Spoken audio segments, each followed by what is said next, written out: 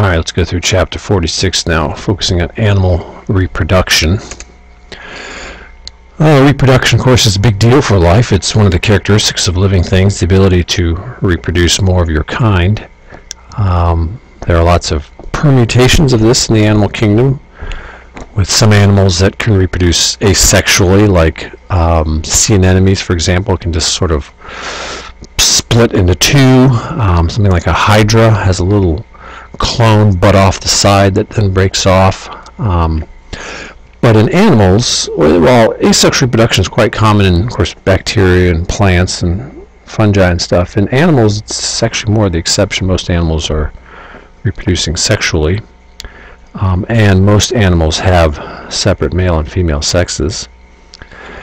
Now, there are some, like earthworms, that are that are hermaphrodites. That is, they are both male and female. And here we see a couple earthworms. Um, they fertilize each other. They do not fertilize themselves, but they are fertile in both producing male and female gametes. That's a bit unusual amongst animals. Um, so most animals have, like I said, separate sexes, uh, males and females. Um, now, how they mate will vary a great deal. You, of course, have amphibians, like these frogs here, who have external fertilization. Female releases a bunch of eggs, and the male then releases his gametes to fertilize them out in the water. Um, he, he literally does kind of hug her in this, this action called amplexus when they get together. And that sort of helps stimulate her to release all those eggs. Um, now, uh, many other animals, though, have internal fertilization. And um, now, the um, life history of an animal can vary a great deal. And the life history is the pattern that that organisms of a particular species follow through their life. That is, most basically, how long do they live? What is their lifespan? Um, how many times do they reproduce in their life? Is there just one reproductive event, or are there many? Do they produce lots of offspring, or relatively few?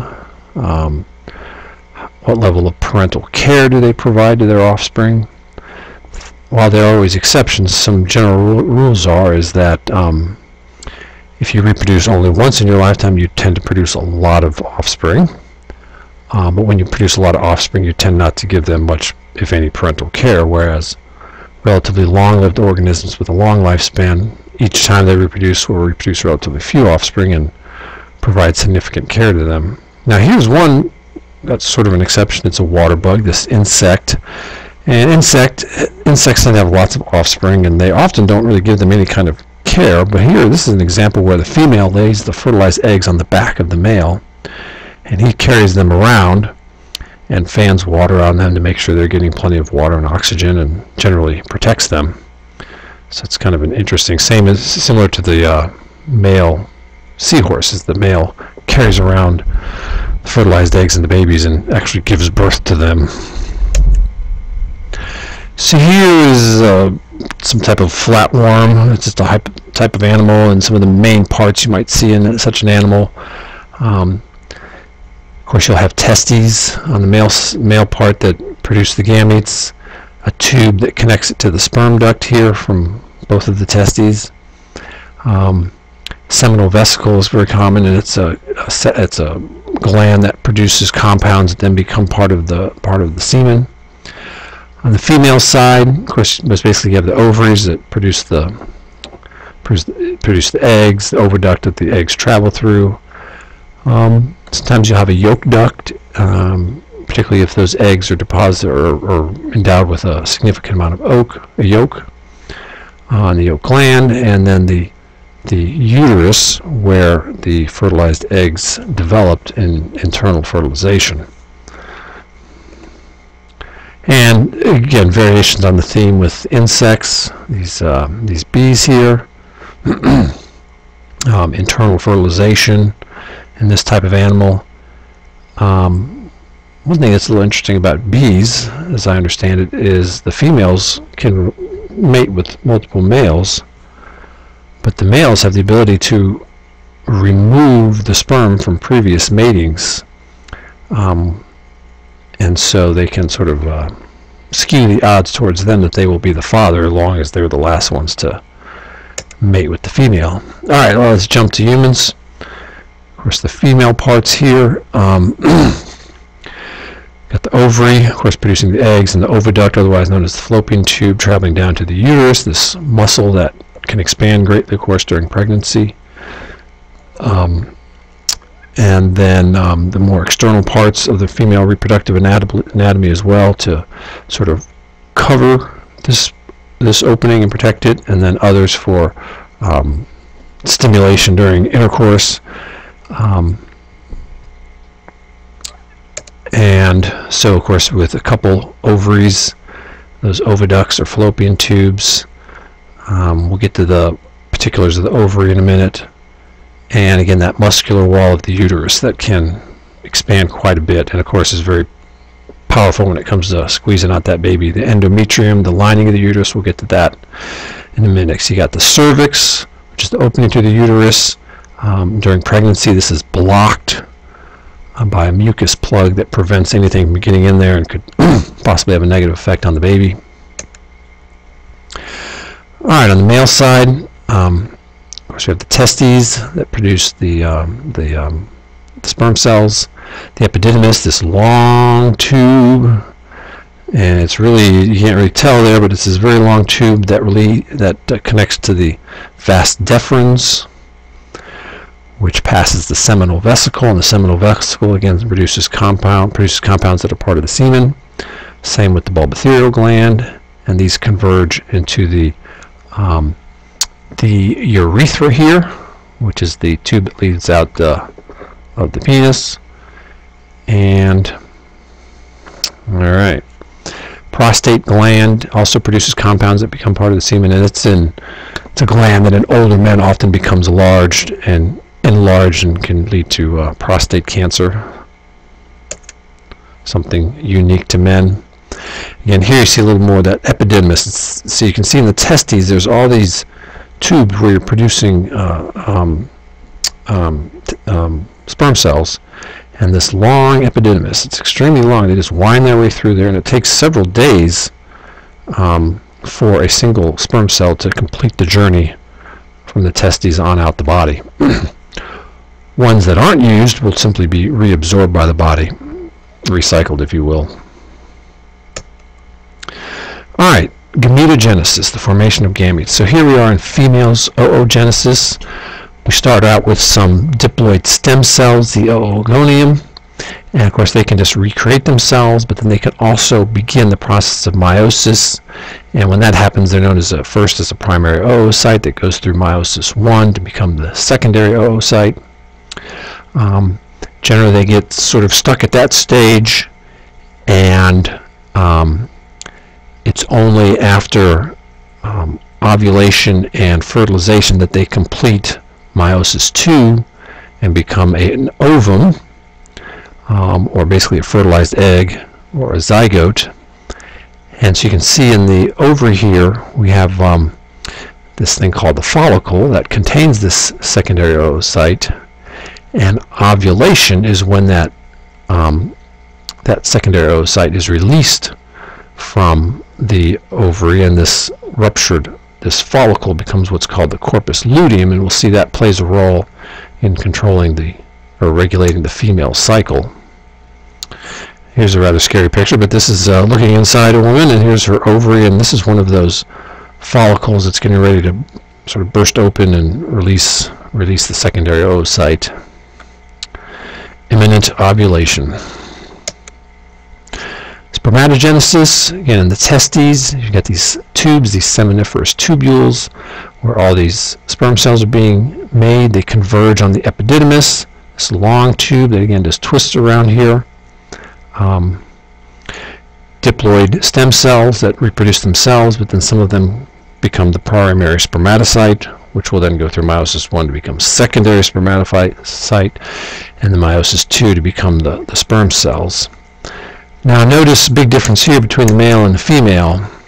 The female only ends up with one viable gamete. The others become what are called polar bodies. There is um, unequal division of the cytoplasm during meiosis such that most of the cytoplasm ends up in one viable cell, whereas in the male, they all are equally viable. And of course, the male produces a lot of them. Female cycle. Um, so here up in the hypothalamus, gonadotropin releasing hormone, stimulating the pituitary to release follicle stimulating hormone, a luteinizing hormone. These sort of get the cycle started.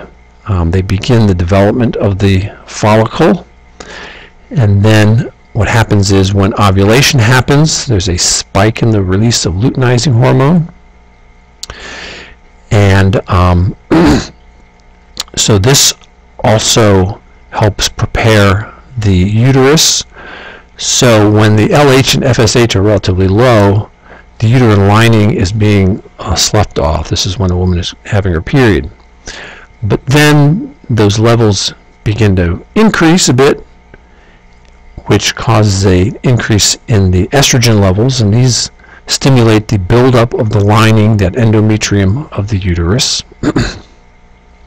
All right, after ovulation, the corpus luteum uh, stimulates a increase, significant increase in the um, progesterone levels, and these all help to, again, continue the buildup of that endometrium.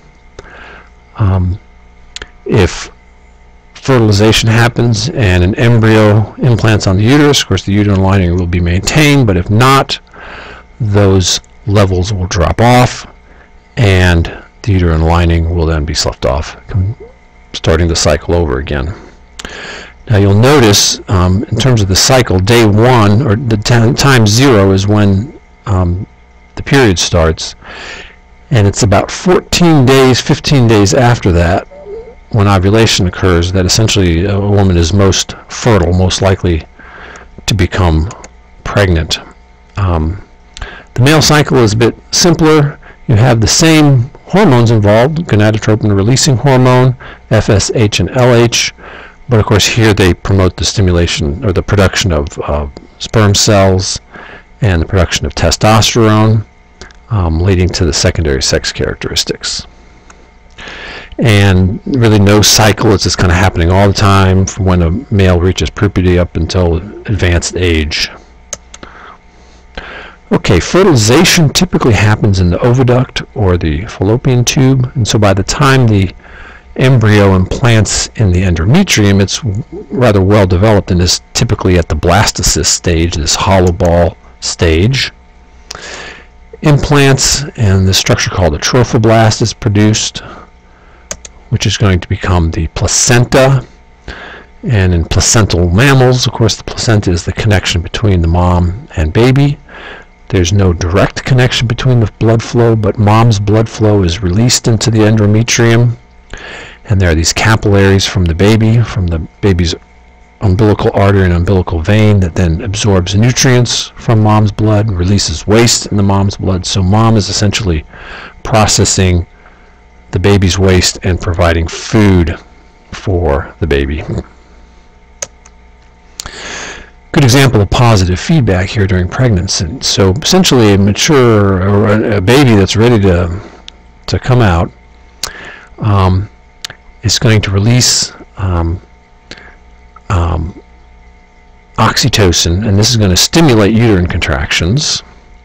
And this has positive feedback for the mom to produce more oxytocin. And so this process just kind of builds up and speeds up such that the contractions become more intense, they become more infrequent until finally the baby's out and then this process stops or slows down quite a bit. Um, of course, babies are supposed to come out head first. That's the normal way, um, the easiest way for them to come out. Sometimes they're not coming out that way, and they have to manipulate them, or even sometimes resort to a C-section. But typically, that's how they they come out.